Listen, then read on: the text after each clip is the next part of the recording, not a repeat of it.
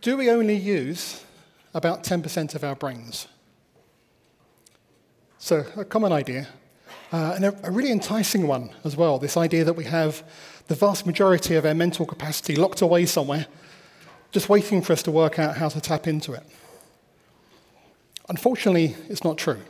In fact, there have been a number of studies and experiments designed specifically to prove or disprove this idea, and it's been largely debunked now, which is a shame. But are there ways that we can make more effective use of the brains that we do have for specific tasks, for specific things? And the answer to that one is hell yes. And it's something I've been really interested in for quite a number of years now. In fact, the, the first conference talk I ever did on a stage much like this nearly 20 years ago was about just that topic. It was called Organic Programming, and it was just basically a collection of, of mind hacks, productivity hacks, things borrowed from psychology and NLP, just in a big sort of grab bag of productivity techniques. And I'm still interested in that. Um, interestingly, in the meantime, uh, some of those ideas have moved from a little bit more niche to maybe a bit more mainstream. So I haven't felt the need to talk about them so much in recent years. But in that same period of time, I've also been really interested in something else, and that's test driven development, or TDD. In fact, that was one of the main reasons that I originally wrote the, the test framework Catch, now Catch 2, was to do better TDD. And for some years now, I've been doing uh, TDD training as well. And in the last couple of years, it's occurred to me more and more that when you bring these two things together, you actually get something that's a bit more than the sum of their parts. That it's not just that you can be more productive at using TDD, but you can be much more productive. They sort of multiply together. And I've been really thinking about why that is. And I think I finally got to the point that I can present that as a talk, and that is this talk. It's the psychological underpinnings of how to get the best out of TDD. And perhaps also you can think of it as the TDD underpinnings of how to get the best out of psychology. Well, we'll see about that one. So I'm really interested in, in giving this talk and seeing what people's reaction is, whether it's just me. Before we get stuck into that, I should probably introduce myself. So I'm Phil Nash. I'm a developer advocate at Sonar. You can see our logo up there. Uh, we do static analysis tools. In fact, our, our tagline is that we help you to clean code, not just to write clean code, but to clean code. So it's, it's all about um, yeah, clean code, code quality, fits right into what we're talking about, but we're not really going to be talking from a static analysis perspective today, so I won't say any more about it now. Do feel free to come up and talk to me about it uh, after or later in the week uh, if you want to find out more about that. You can reach me on X, formerly Twitter, or Mastodon at these addresses, and I will show this slide again at the end uh, if you want to, to follow me there. The other thing that will be on the final slide will be a link to a single page that has all of the references for further reading, further watching, because we're going to touch on a lot of deep subjects we're only going to scratch the surface of. If you want to do more background reading, then watch out for that link, and that will get you started on where to follow up. So, let's get started on our material. And I want to get right back to the fundamentals of testing and, and ask some questions. So, why do we write tests? And in fact, I'll go back even further than that. I like starting with the why, but let's go even before that and say, do we write tests at all? Not everyone writes tests at all. I'm not going to ask that question of the room, but I do have some questions I do want to ask. Who here regularly writes tests for their code, um, their you know, regular development cycle? Not necessarily all of, all of the code, and not necessarily before the tests, sorry, before the code, but it's just a regular part of your development habit. Who, who here does that? So it's probably about two thirds of the room, I'd say, at a glance. All right, who's currently working on a code base that has at least 90% code coverage, if you can measure that, or at least finger in the air? Much fewer. Okay. What about this one then? So who thinks they should probably write more tests? I think, I think that's most people, certainly more than the first group. Most of us think we should be writing more tests. So why do we not? In fact, let's bring that why back in, but, but pose that question. why do we not write tests? Or, just to include everyone, why do we not write enough tests? If you think we should be writing more, but we're not, what's stopping us? Is it too hard? Do we not know how to do it? Is there something else getting in the way? Do we not see the value in it? All sorts of questions we could ask. I think it's valuable to ask those questions and not just put it aside. So I'm going to put up some possible reasons. Some of these may resonate with you. I think these are probably the most common ones. Plenty more that may apply to you. It's not exhaustive. So maybe you think the writing test is extra work. I mean, you've written the code, you've seen that it works somehow. We'll put aside whether you consider that a test, but talking about automated tests that you then write, that's no extra work, because you know it works. Why should I do extra work? Related to that, it must slow you down. You've got to do this extra work. And by some estimations, you should be writing at least as much test code as production code. You, you may have heard that. It may be surprising to some people. So if you're going to write double the amount of code, that's got to take longer. It's got to slow you down. I don't have time for that. Or maybe it just distracts from what you're doing. I've got this interesting problem I want to solve. I don't want to be distracted by having to write tests for it. That takes a different mindset. Don't want to be distracted. Or maybe they're just boring. Yeah, I, am not interested in writing tests. That's not what motivates me. Okay.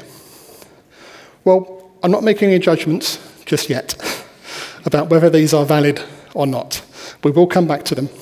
You can probably guess where I'll, I'll land on them. But let's go back to our question.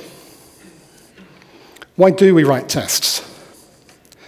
And now, well, we, said we're going to talk about the psychology of TDD. And this is really the philosophy of TDD. Why do we write tests? I'm going to put a few, a few suggestions up, perhaps start with the most obvious one. Well, of course, we write tests to catch bugs. Whether we catch them before we've written them or not is another question. But yeah, catching bugs is a big part of it. It's important. It's not the only thing, though. So, what else? How about this one?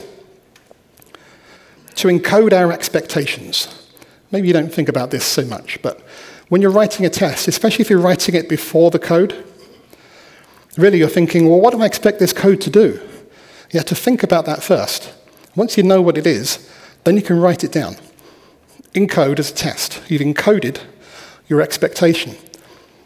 And now you don't have to worry about that anymore because the test is there telling you whether or not you've met that expectation. You can think about other things. It turns out to be quite pivotal, and we're going to come back to this later. But maybe it's not one you thought of. So maybe a more obvious one again, to catch regressions. Sometimes we, we find a, a, bug in production or manual testing, and we think, oh, I don't have a test for that. So you write a test first that reproduces the issue, you fix the bug, and you leave the test in because now it's a regression test to make sure that bug never comes back again. But we even call them regression tests if there was never a bug there to start with. Just having a large body of tests that we can run against all the code after any change you make, we can tell if we've broken anything that we'd written before. That's a different form of regression. So regression testing is, is really important as well. What about this one? Writing tests as documentation. For some people, this seems obvious. And for others, you think, what's it got to do with documentation? But your tests are showing how to use your code, where the boundaries are, how to use it properly. Of course, the flip side is sometimes you write tests that probing at these edge cases you don't actually want people to be using, but you just want to make sure that they're well tested. So you do need to clearly mark which is which. So that, that is one caveat. But the advantage of this is it solves one of the biggest problems of developer documentation, is that it's always getting out of sync, and nobody wants to maintain it. But your tests are tested against the code. So if they get out of sync, the test will break. So they're automatically kept in sync. So it's a really valuable form of testing, and you should lean into that if you, if you can. So these are a few reasons, just to give you a taster. Now, so I do TDD training uh, fairly often, and uh, every time I do it, I have a, a flip chart session where I ask this question, why do we write tests? And get all the, all the suggestions from people. And there's always one or two surprises, and I'm building my list up over time. So I'm not going to show you all of them, but here's a, here's a few more. I'm not going to go through one by one, but quite a few additional benefits we get from testing. Now, I don't know if you noticed the, um, uh, that's not going to work. There we go. On the right-hand side there, slightly different shade. everything on the right-hand side, those benefits we only really get if we're doing TDD. The ones on the left we get from just general testing. So it's another reason that it's worth looking at TDD, not just testing.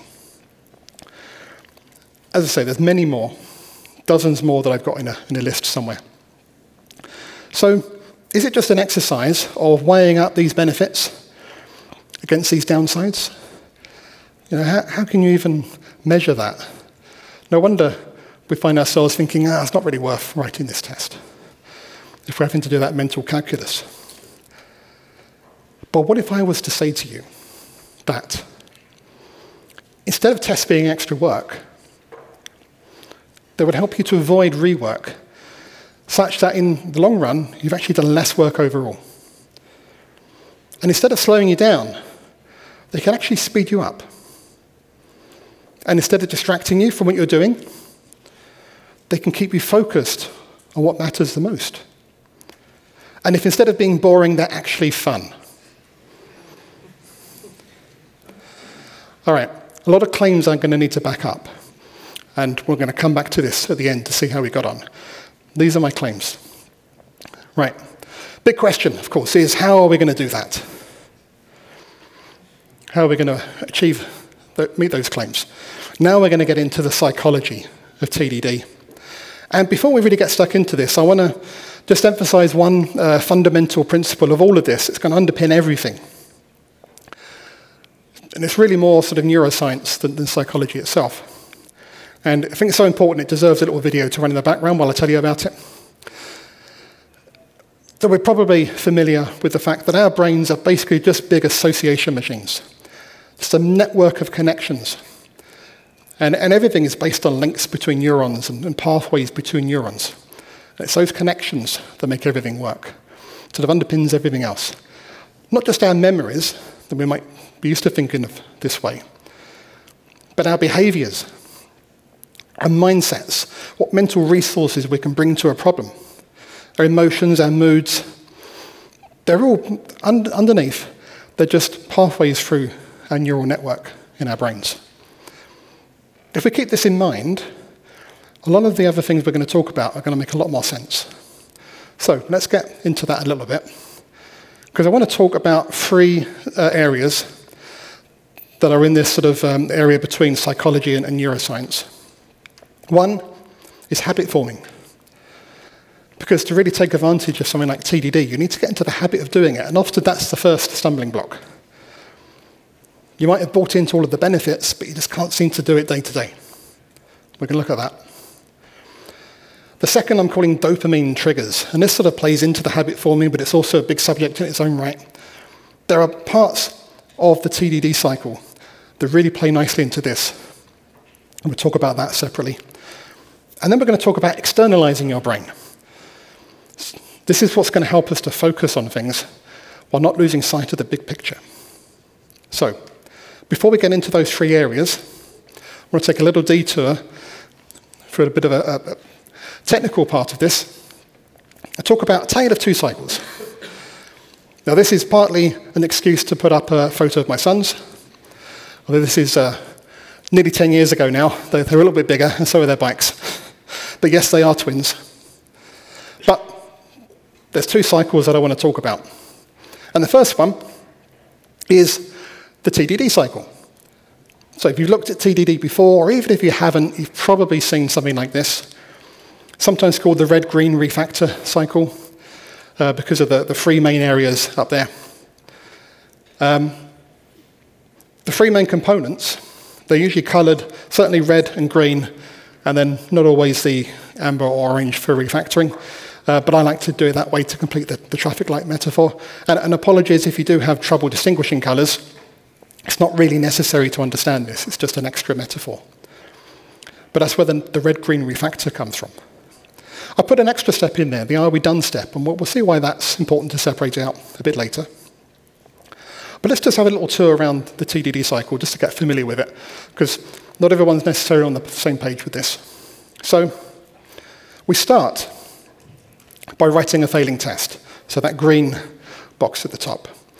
And I've emphasized the word start, we've got a separate point in from there because we have to start here. Otherwise, we're not doing TDD. If we don't start by writing a test, it's not TDD. And if that test is not failing, it's not TDD.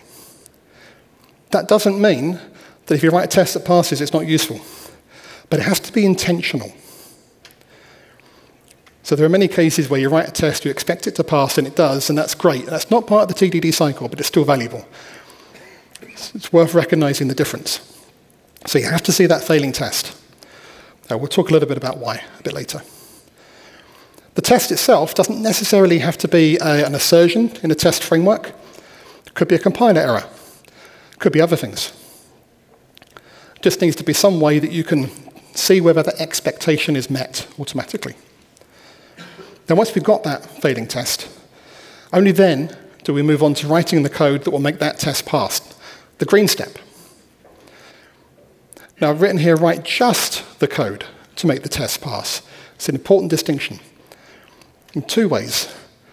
First of all, we want to we want the simplest possible sort of values, and we'll always start with things like empty strings, zeros, null pointers, empty optionals. Start with those things and then build up to more complex things because it will help you to make sure that as you generalize your code under test, it will sort of generalize progressively from simpler to more complex. That's quite important. We'll maybe touch on that in a bit. The other way that we want to write only just the code to make the test pass is we're not concerned here with clean code, well-factored code or the design principles that we know we want to include in our, our code base, but we're not doing it right here. We're just doing the, the easiest thing that's going to work, the simplest thing that's going to work. Because we have a separate step, the refactor step, which is where we do all the cleanup. The nice thing about separating these, these two, well, there's a few nice things, but one of them is during the green stage, we're not generally touching other parts of the code base. We're less likely to break anything else. We might do that in the refactor step, because to refactor, we may change other parts of the code base. The other big advantage we'll talk about a little bit later. So refactoring is when you have to bring your design principles, which means you have to know what the design principles are. That's beyond the scope of this particular talk. You might want to speak to uh, Klaus down here at the front about some of those, just, just to set him up. Once you've done your refactoring, you can move on to say, actually, are we done? Do we have any other tests that we need to write? If you can't think of another failing test to write that's important, then you're done. And sometimes that might be surprising. Let's have a, a little demo to see how this actually works in real code.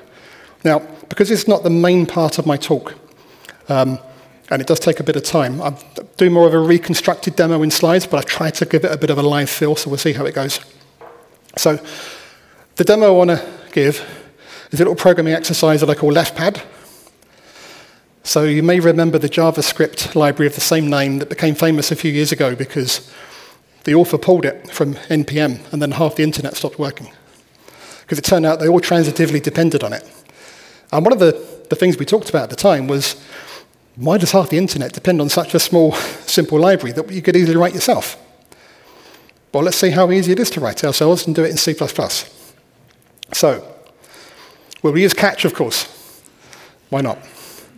Now, if you've used catch before, you know all you need to do is just include the header.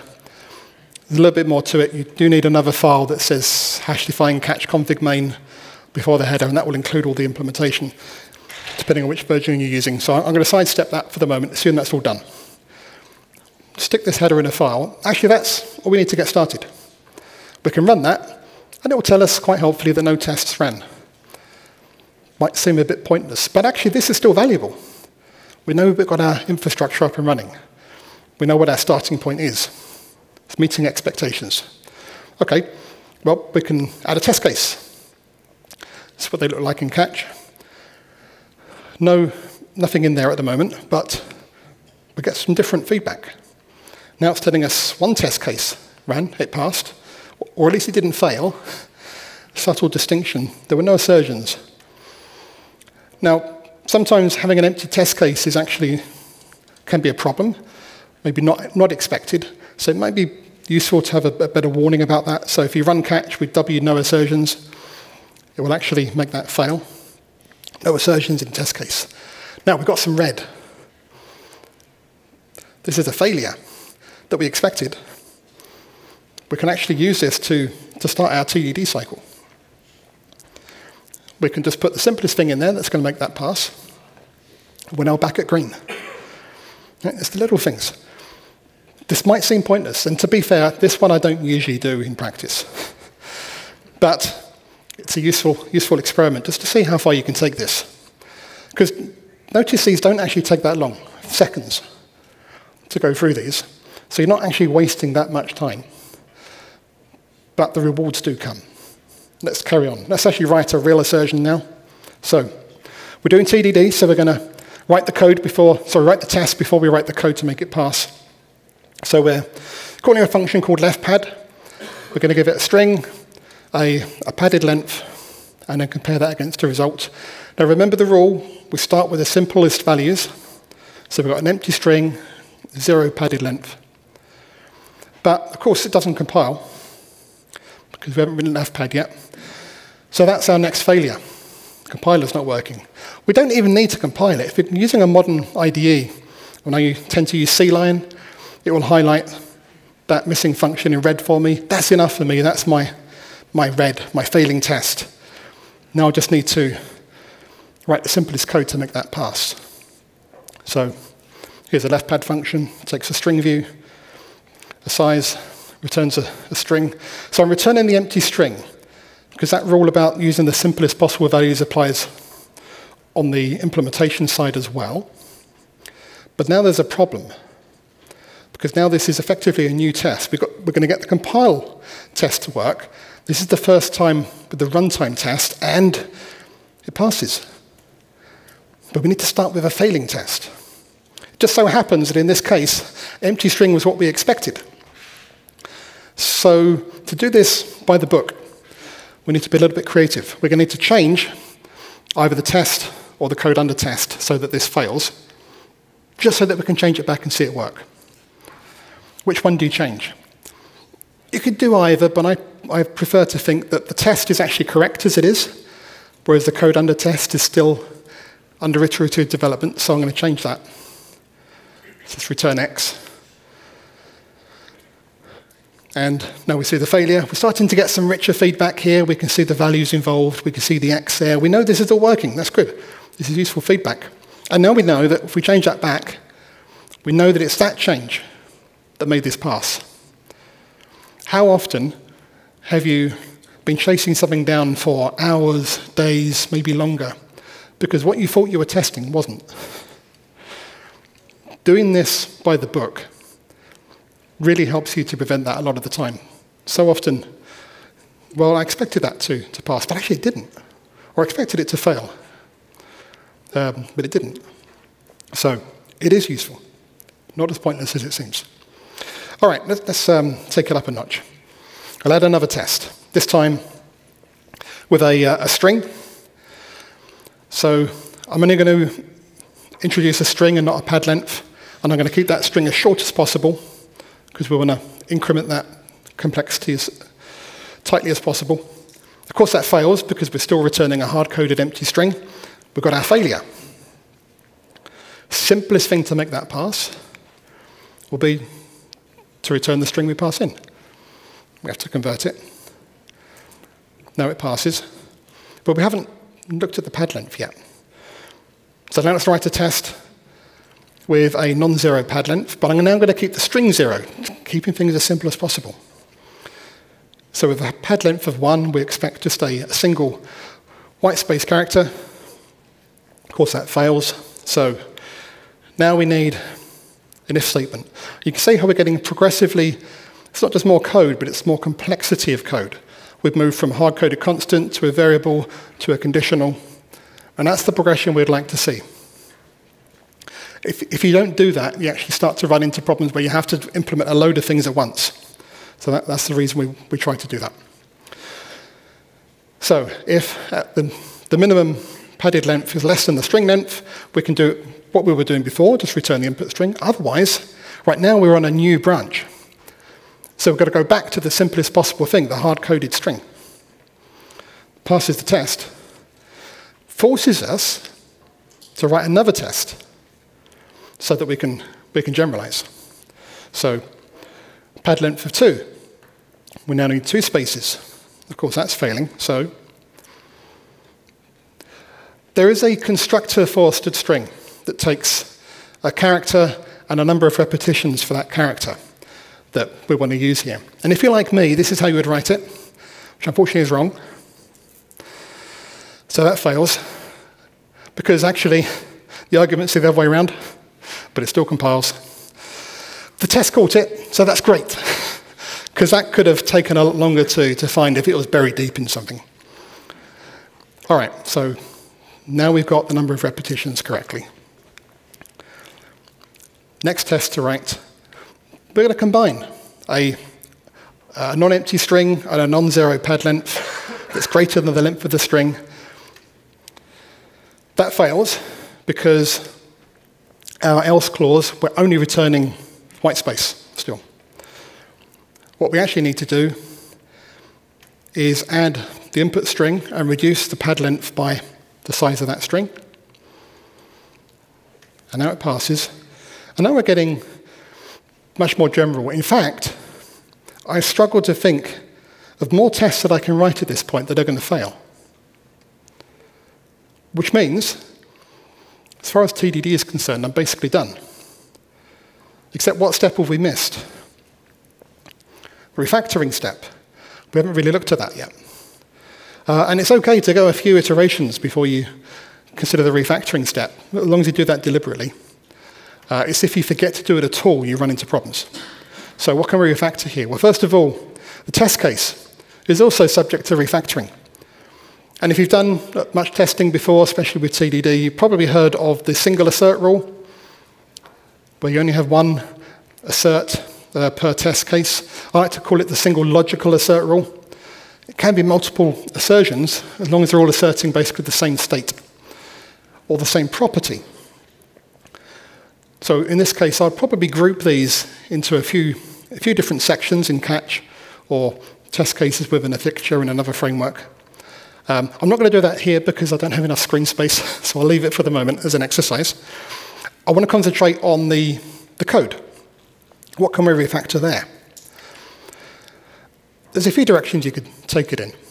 Um, I want to start with the, uh, the, in the else clause, the first string, the, um, the length, min len minus str.length.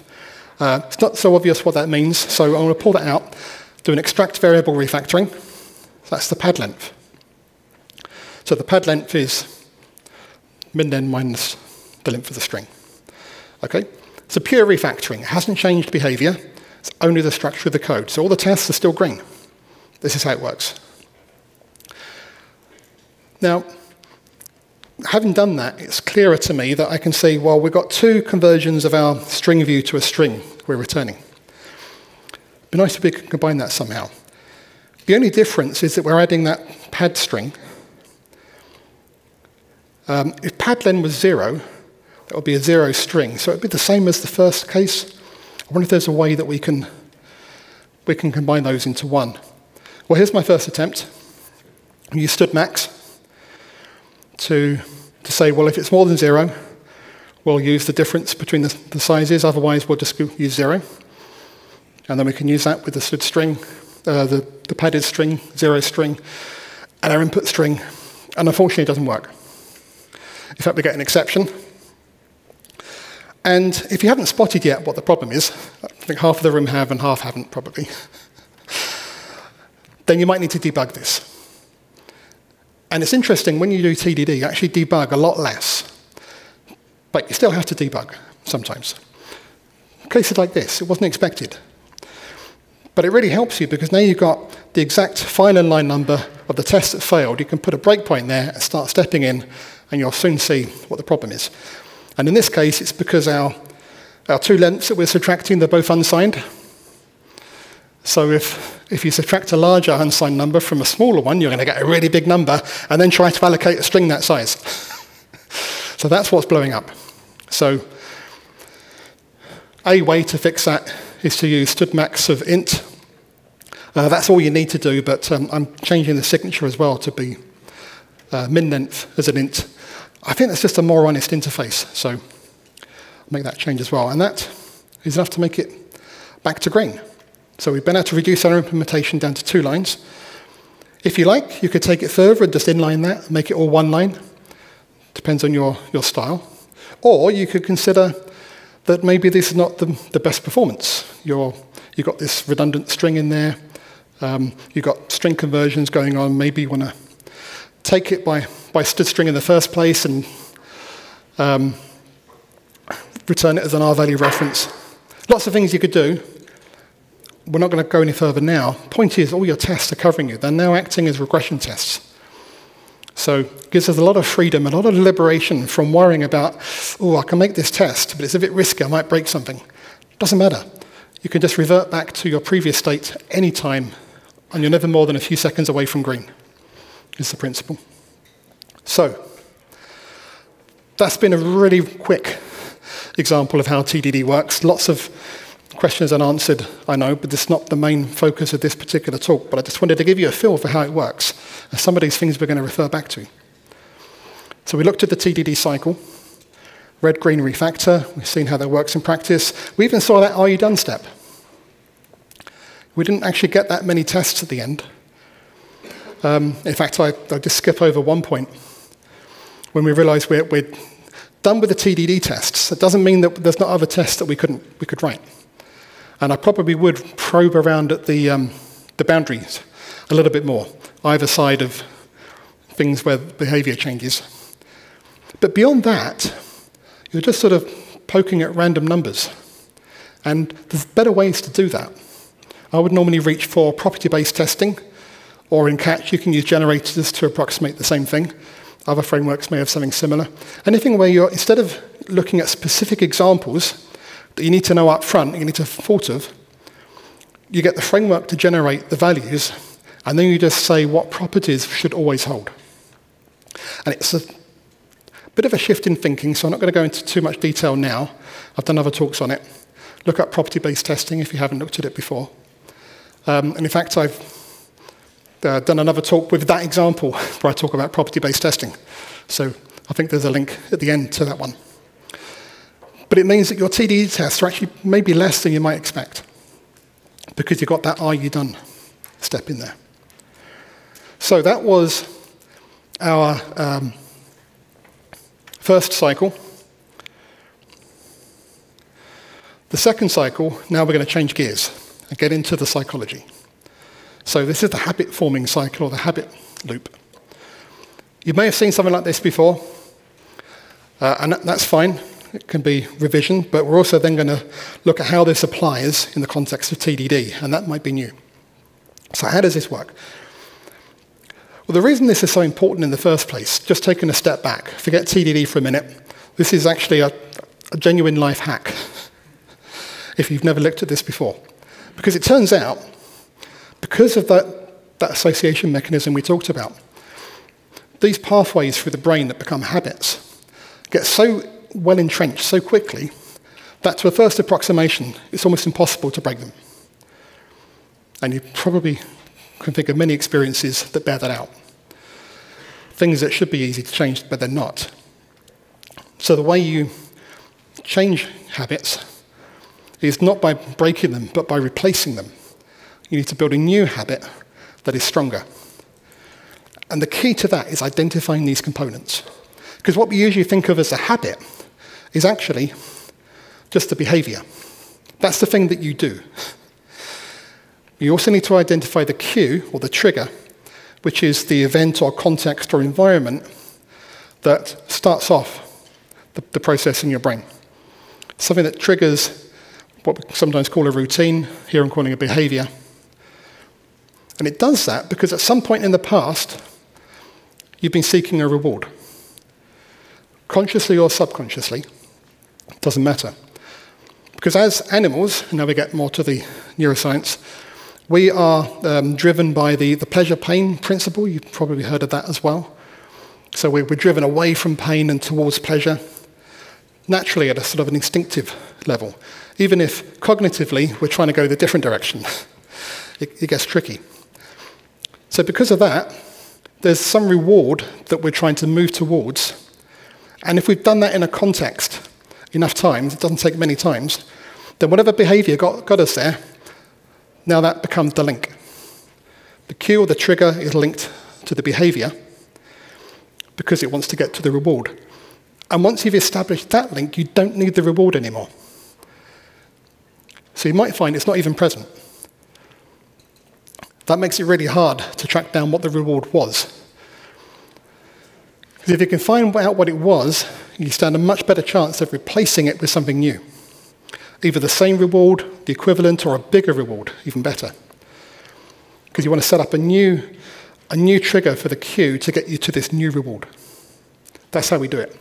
Now, the trouble is, because the, the pleasure pain principle is a much lower level, subconscious level almost, it doesn't respond to long term goals.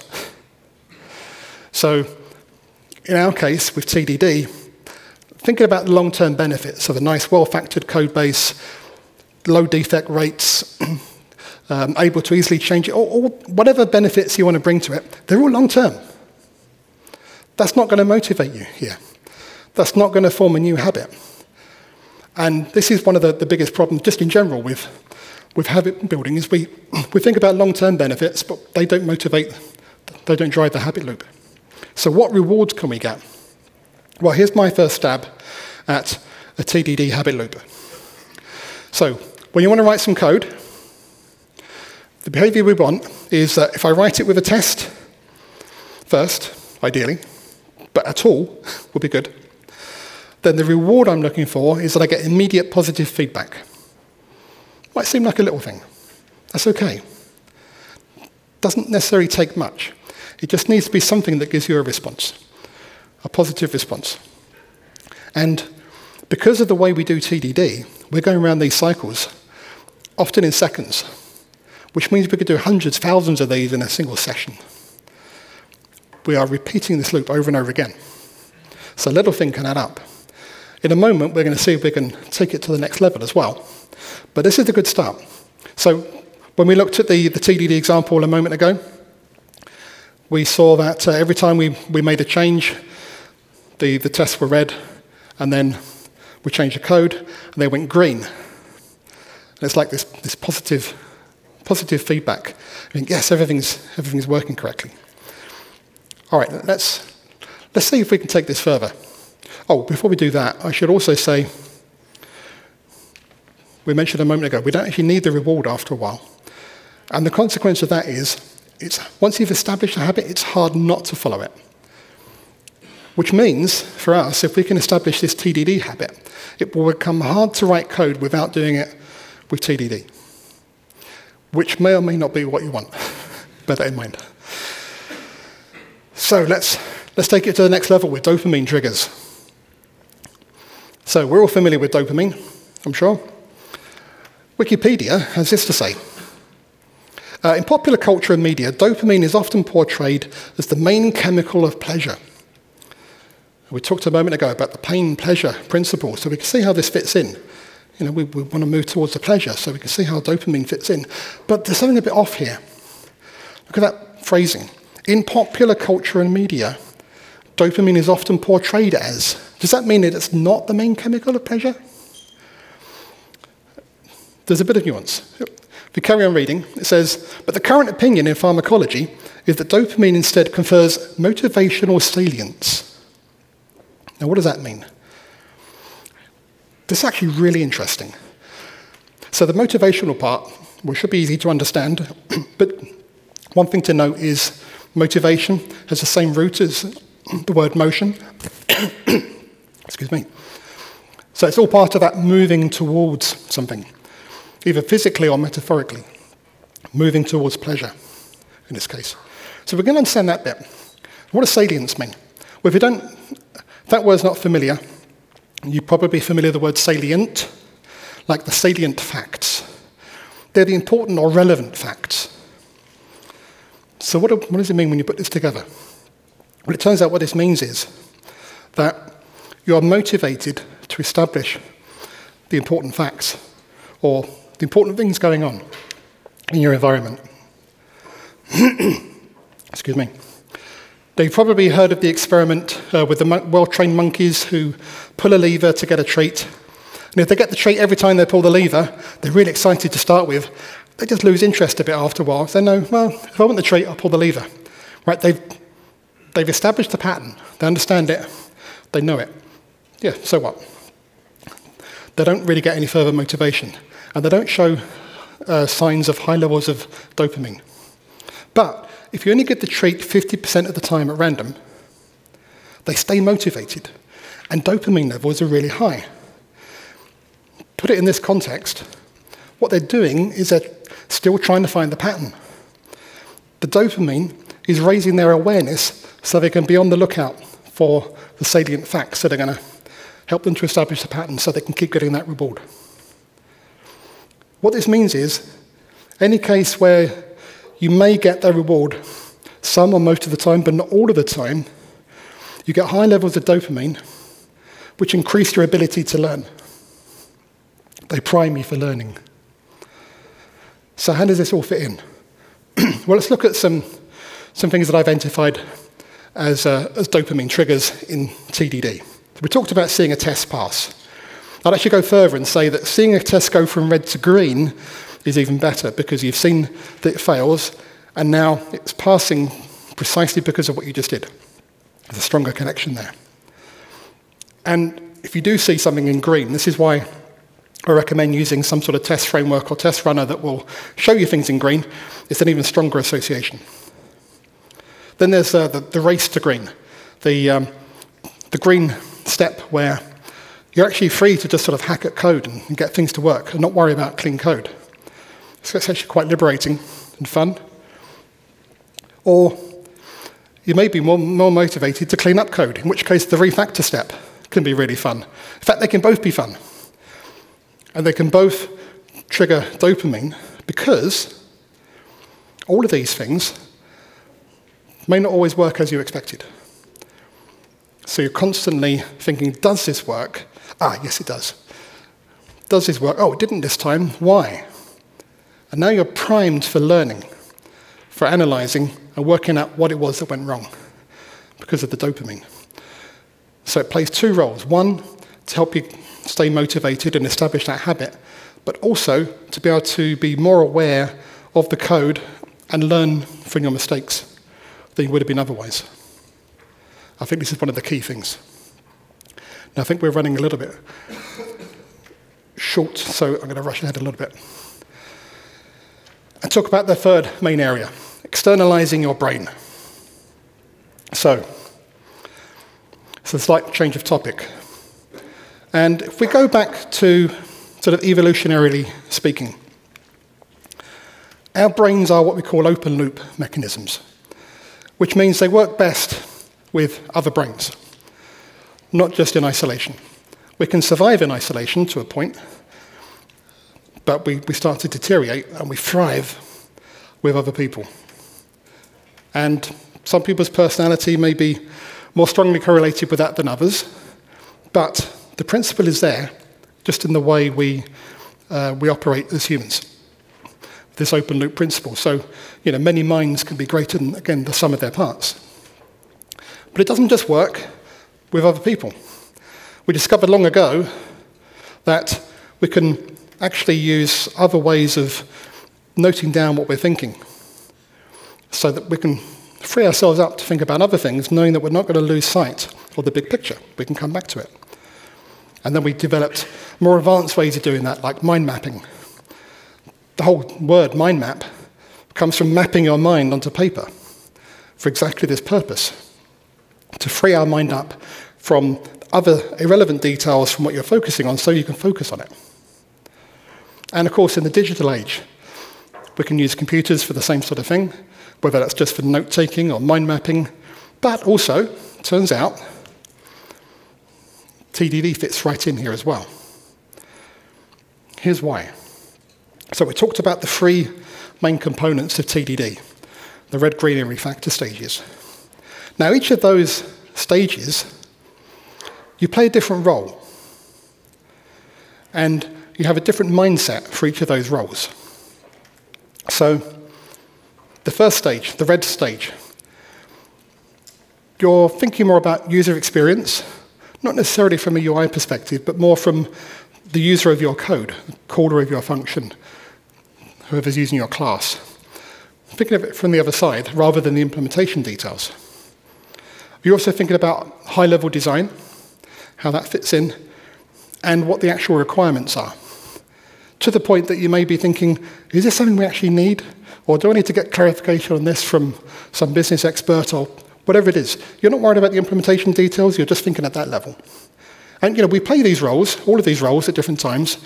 Moving between them seamlessly can be hard.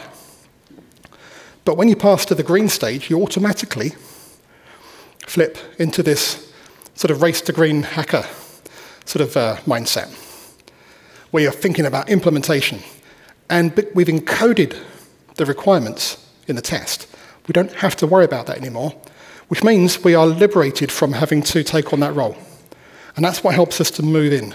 We get both the trigger to move, the switch of task, and the ability to let go of thinking about requirements because it's encoded in the test. We can completely immerse ourselves in implementation. And similarly, moving to the refactor step, now we're thinking about low-level design, clean code principles, well-factored code, not having to worry about raw implementation, because we were, we were all green, not having to think about requirements. The tests are covering all of those as well. So it's another subtle shift. And this is why I put the are we done step in here as well, because when we go to the are we done step, we're actually going back over to that requirements mindset mind, uh, portion. And we have a place where we can cleanly cut across back to requirements thinking, and it's there we make the decision what's next. Because often we can make the decision what's next while we're in that implementer's frame of mind and we end up gold plating a solution that wasn't really necessary. This helps to prevent that. This mindset shifting doesn't come straight away. Takes a little bit of practice with the TDD cycle. You need to be competent at that before you start to notice this shift in mindset and shift in role and shift in what mental resources you bring to those given problems because they are different. And it really, really helps you to quickly move between them. Remember, we can go around the whole loop in seconds. We're like playing three different roles in that time. So that's how, oh, and the, the other part to this is, as we mentioned with the um, writing a failing test, encoding the test. You can think of that like a mental save point. Right, I've done all my thinking at this level, externalize it to the code, now I can move on to the next one. That's how we externalize our brain. So, that's the three areas that we looked at habit forming, and how to build a new good habit for, for TDD, leaning into dopamine triggers to help with the habits, but also for their own benefit and to help you have fun with the code, and externalizing your brain so that you can actually focus on the different parts as you need them. So let's now see how we're doing with this list. So I think the bottom two, I think are fairly obvious that, well, if you follow everything I've been talking about, code, uh, writing tests first should be fun, especially if you lean into your dopamine triggers and you you do the, the, the race to green and the refactoring, freed up from the other responsibilities. That really brings out the fun in coding. Keeping you focused on what matters. It's what we were just talking about. By focusing just on what we're doing at any particular time and locking in everything else into the code. So we don't have that point like that cartoon with the, the person debugging something in his head. He's got all the parts there, and someone comes along, random comment, and it's all gone. No, it's all in the code in a form that you can readily get back to. I'll often leave a failing test on a Friday night. So when I come back in in the morning, I think, oh, I've just got to make that test pass. Gets you back into the right mindset. So we can tick those off if you buy into everything I said, which is not a given. What about the other two? It's still more work. You've still got to, to write you know, as much test code as the production code. That's got to slow you down, hasn't it? especially doing all those iterations where you're writing code you know you're going to change. It's got to be a waste of time.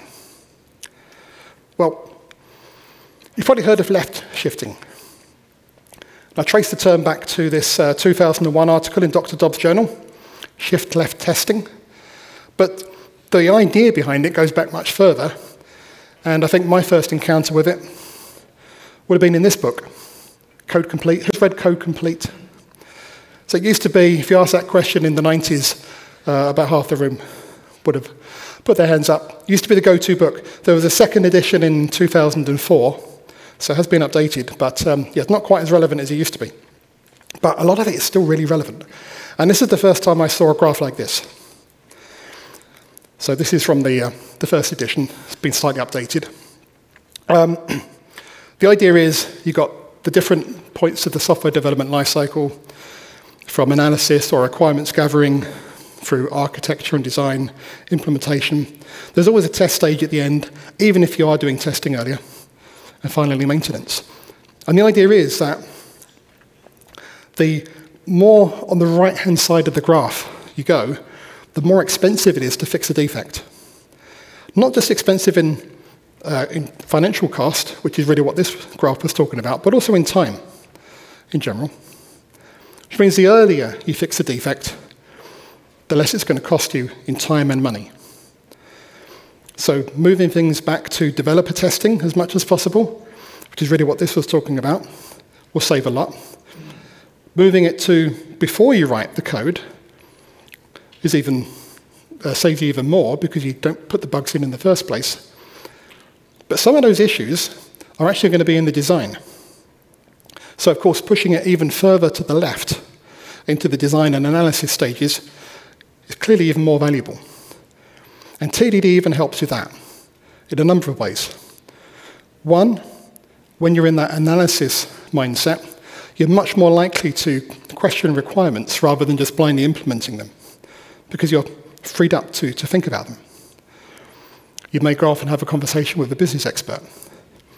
Another is that the principles of TDD don't just apply at that level. And in fact, BDD, behavior driven development, is much more about having those conversations up front with domain experts before you start writing any code, while you're still establishing the requirements, putting it into a structure very similar to what we're talking about with TDD, but earlier.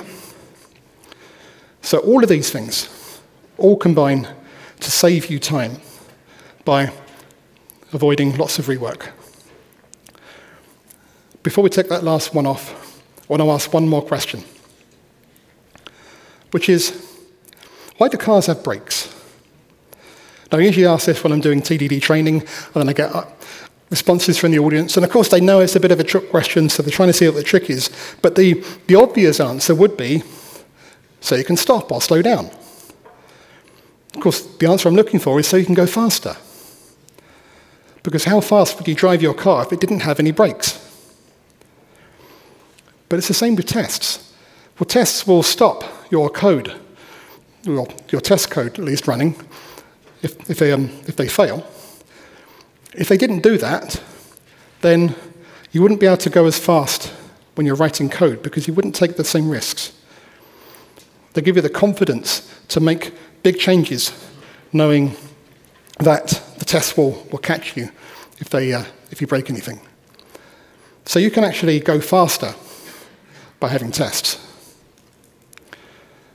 which I think ticks off all of the boxes. We avoid rework by catching issues earlier or preventing them in the first place. Speed you up by giving you the confidence to make um, design level changes. Keep you focused on what matters, as we said, because we can externalize our brain and we can have fun doing it all. So, that brings us to the end. There's the, the link that I was telling you about, levelofindirection.com slash refs slash rewire.html. So I'll leave that up there if you want to uh, take a photo for, for more reading. But that is the end of the talk. So thank you very much.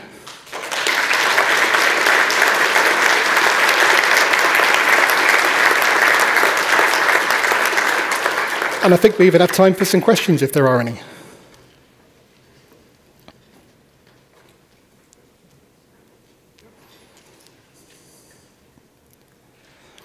Yeah, uh, I noticed you used the require macro in your in your test example. Yeah. Wouldn't it uh, be better to use the check macro so you don't fail the entire test case? You want the test to continue running, right? So the, I used the require macro when I was doing the, uh, the, the, catch tests. And in, in catch, you can do require will abort uh, immediately if it fails, whereas check it does the same thing, but it will carry on. So it will report the failure, but also run subsequent uh, assertions.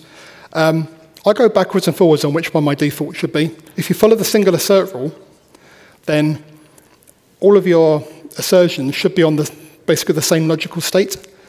And that sort of favors doing checks, because then you want to find all the different dimensions that could have failed in. Um, but sometimes you, you know, one test sort of has to follow on from another. And you want to say, well, if this thing was null, um, you know, then, then don't carry on and do this other thing. There's other ways to do that as well. So I do maybe lean more towards check these days than require, but it's, uh, it's a philosophical question I haven't quite got to the bottom of yet. Thank you. Thanks.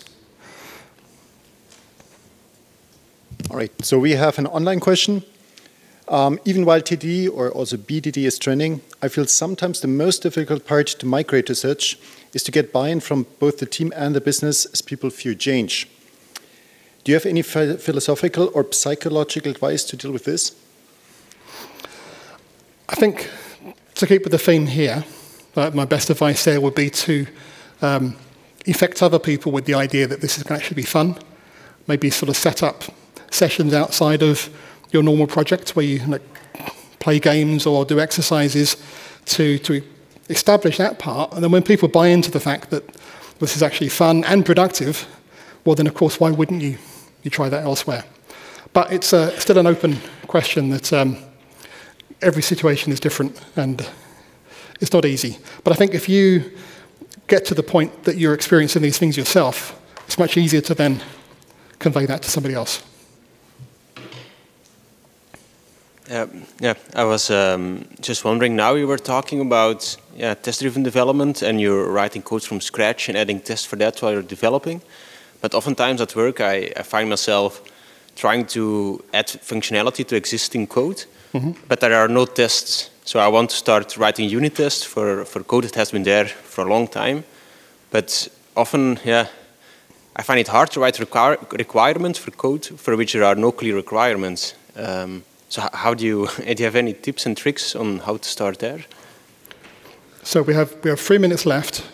And when I do my two-day TDD training, I devote um, about one two-thirds of one day for that question. Um, yeah, the short answer is it's, it's hard. the, the, slightly longer answer is there are techniques that can help. Um, but that's where it becomes out of scope for right now. But uh, at the very least, look into approval tests if you've not done already. They're a really great way to lock in what the current behavior is uh, without having lots of unit tests so that you can iterate towards a place where more of the code is, is properly tested. But uh, see some of my other talks for more. All right. Thanks. welcome.